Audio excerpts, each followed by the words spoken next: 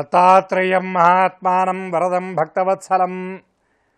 ప్రసన్నార్తిహరం వందే స్మర్తృగామి సనోవతు. శ్రీ మహాగణాధిపతయే నమ ఇం మహాసరస్వత్యై నమ. అస్మద్గురుచరణారవిందాభ్యా నమ. శంకర భగవత్పాదుల వారి ప్రియ శిష్యులైనటువంటి పద్మపాదాచార్యుల వారి తీర్థయాత్రల అంకానే మనం చెప్పుకుంటూ భగవంతుడికి విష్ణువుకి ప్రీతికరమైనటువంటి ఎనిమిది పుష్పాలు అష్టపుష్పాల గురించి మనం చెప్పుకుంటూ ఎనిమిదవ పుష్పమైనటువంటి సత్యం గురించి చెప్పుకుంటూ హరిశ్చంద్ర వారి వృత్తాంతాన్ని చెప్పుకుంటున్నాం లోగడ భాగాల్లో. ఇక హరిశ్చంద్రుడు కూడా కడజాతి వాడికి అమ్మబడ్డాడు. కాటి కాపరికి ఆయన తన వస్త్రాలన్నీ వదిలేసి ఆ కాటి కాపరిచ్చినటువంటి ఒక పాత వస్త్రాలు ధరించి ఒక కుండని ధరించి చేతిలో కర్రను ధరించి ఆ శ్మశానానికి కాపలాదారుగా వెళ్ళాడు హరిశ్చంద్రుడు.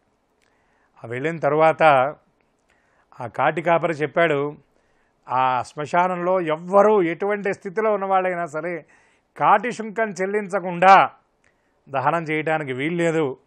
ఆ శుంకంతో పాటు రావాల్సినటువంటి వస్తువులన్నీ కూడా నీవు జాగ్రత్తగా తీసుకురావాలి అని చెప్పేటప్పటికీ ఆయన కంటికి కునుకు లేకుండా నేత్రహస్తుడై శ్మశానంలో కాపలాగాస్తూ ఉన్నాడు.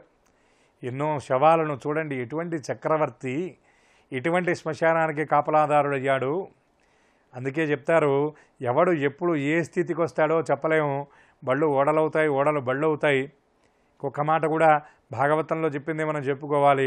కారే రాజులు రాజ్యములు గెలివరే గర్వోన్నతిని పొందరే ఎంతమంది రాజులు ఎంత పరిపాలన చేసినటువంటి వాళ్ళైనా ఎప్పుడు ఏ స్థితికి కాలం తీసుకొస్తుందో తెలియదు కాబట్టి హరిశ్చంద్రుడు ఉన్నటువంటి ఆ స్థితిని చూసి ఈ కథ లోకంలో తెలియంది కాదు. ఇప్పటికీ మన పల్లెటూళ్ళలో ఈ హరిశ్చంద్ర అనేటటువంటి పేరుతో నాటకం వేస్తూ ఉంటారు. ఒక అద్భుతమైనటువంటి బలిజేపల్లి లక్ష్మీకాంత కవి అనేటటువంటి మహానుభావుడు దీన్ని మొత్తాన్ని నాటకాన్ని రాశాడు. అయితే ఇన్ని కష్టాలని ఆయన ఎలా రాశాడంటే అందులో దానికి కూడా ఒక నేపథ్యం చెబుతారు. సుమారు పంతొమ్మిది వందల ముప్పై ప్రాంతాల్లో ఉప్పు సత్యాగ్రహం సమయంలో ఆయన జైలుకు వెళ్ళి ఆ జైలు శిక్షను అనుభవిస్తూ ఆ కష్టాలన్నింటినీ కూడా రాశాడని అంటారు.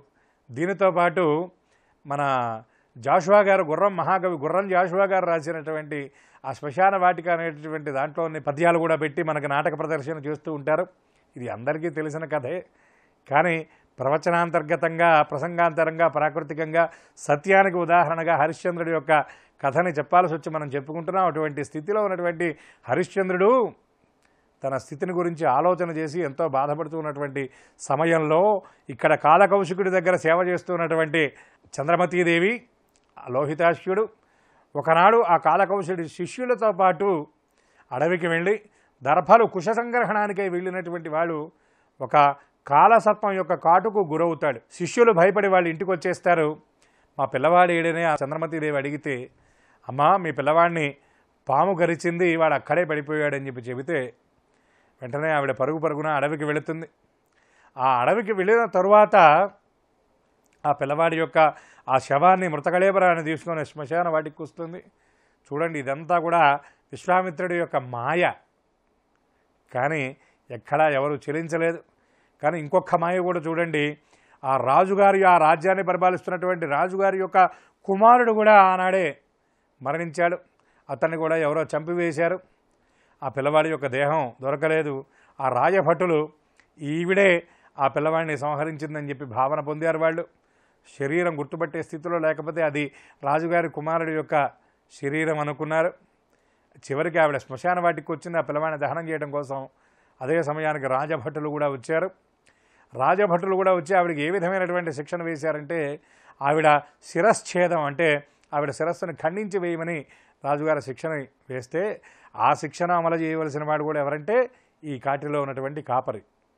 కాబట్టి ఆ వచ్చినటువంటి ఆవిడ తన భార్యనే ఆయనకి తెలియదు గుర్తించే స్థితిలో లేడు. ఆ పిల్లవాడిని దహనం చేయబోతే ఆవిడ ఆయన నిరోధించాడు. కాడి సుంకం చెల్లించమని అడిగాడు. ఆవిడ చెల్లించడానికి నా దగ్గర ఏమీ లేదు స్వామి అని చెప్పి చెప్పింది. అటువంటి సందర్భంలో నాటకంలో చెప్తారు ఆవిడ మంగళసూత్రాలని ఈయన దర్శించాట. దర్శించేటప్పటికి ఆ మంగళసూత్రాలకు ఉన్న విశేషం ఏమిటంటే భర్తకి తప్ప ఇంకెవరికీ కనపడవు. కానీ దాన్ని ఆయన దర్శించేటప్పటికి ఆవిడ ఆశ్చర్యపోతుంది. ఆయనే తన భర్త అని తెలుసుకునే లోపల రాజభటులు వచ్చి శిక్ష విధించమనేటప్పటికీ ఆయన వృత్తి నిర్వహణలో చూడండి సత్యవాక్ పరిపాలనే కాదు. ఆ ధనాన్ని రాజ్యాన్ని మొత్తాన్ని తృణప్రాయంగా వదిలివేసేటటువంటి త్యాగమే కాదు. విశ్వామిత్రుడికి దానం చేసేటటువంటి దానగుణమే కాదు. దానము సత్యము ధర్మము ఆ వృత్తి నిర్వహణ ఇన్ని విషయాలు ఉన్నటువంటి హరిశ్చంద్రుడు తన భార్య అయినటువంటి చంద్రమతి దేవిని ఖడ్గంతో శిరస్సు ఖండించేటటువంటి సందర్భంలో సాక్షాత్తు అతను సత్యదీక్షను మెచ్చినటువంటి పరమేశ్వరుడు పార్వతీ పరమేశ్వరుడు ఇరువురు ప్రత్యక్షమయ్యి వాళ్ళకి జరిగినటువంటి విషయాన్ని చెప్పి విశ్వామిత్రుడు కూడా జరిగినటువంటి విషయాన్ని చెప్పి విశ్వామిత్రుడు వశిష్ఠుడు ముందు ఓడిపోయారంటే వశిష్ఠుడు మహానుభావుడు కాబట్టి ఎవరూ ఓడిపోలేదు. మన పందెం వల్ల హరిశ్చంద్రుడి యొక్క కీర్తి ప్రతిష్టలు లోకానికి చాటింపబడ్డాయి. కాబట్టి ఈ హరిశ్చంద్రుడు నేటి నుండి సత్యహరిశ్చంద్రుడిగా పిలువబడతాడని చెప్పి వాళ్ళందరూ అనుకున్నారు. మరిన్ని విశేషాలను పద్మపాదుల వారి తీర్థయాత్ర వైభవాన్ని రాబోయేటటువంటి భాగాల్లో విస్తారంగా చెప్పుకునే ప్రయత్నం చేద్దాం.